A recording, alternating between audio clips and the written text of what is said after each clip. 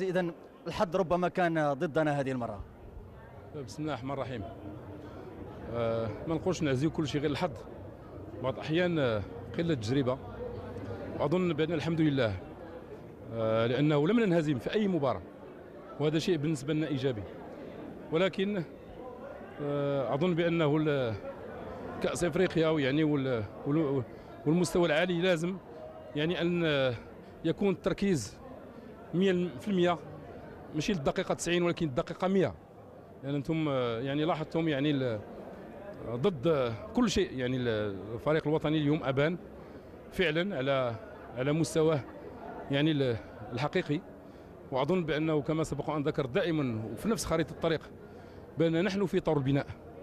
وأكيد بأن كلنا نتمنى أن نمر الضوء ثاني باش نفرحوا الشعب المغربي والجمهور المغربي كله. آه، قدر الله ما شاء فعل. فأظن بأنه يعني بالرغم من إقصائنا ولكن ماشي الهزيمة. أنا لا أسمح لأحد أن يقول هزيمة. ليست هزيمة ولكن الإقصاء أظن بأنه بشرف وأظن بأنه آه، فعلا النواة الأساسية ديال الفريق الوطني المغربي إن شاء الله بدأت يعني تت- تتكون وبصلابة من أجل الاستحقاقات المقبلة. رشيد الطوسي أشركت بعض العناصر الجديدة لأول مرة تلعب مباريات كأس إفريقيا. أشركت رش... آه، يوسف القدوي أشركت عبد الإله الحافظي.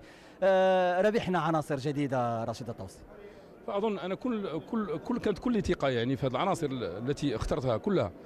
وأظن بأن اختيارها يعني آه، أكيد بأنه كانت يعني حسب يعني المعايير ال- التي وضعتها.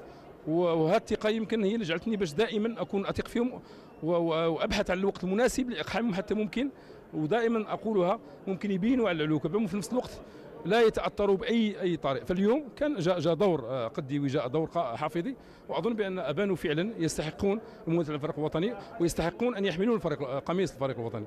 فاظن بأنه هذا الشيء ما يزيد إلا يعطينا يعني آه، تحفيز وحافز كبير جدا حتى ممكن نزيدوا نشتغلوا أكثر يعني مع كل العناصر الوطنية داخل الوطن وخارج الوطن وأكثر من هذا لازم أن نعطي أهمية لبطولتنا داخل داخل هذا وهنا أناشد زملائي المدربين كلهم أن يشتغلوا يعني بكل تفاني حتى ممكن يعطونا لاعبين آه، بحجم آه، قديوي بحجم آه، حفيظي بحجم النملي بحجم محمد الله بحجم المياري.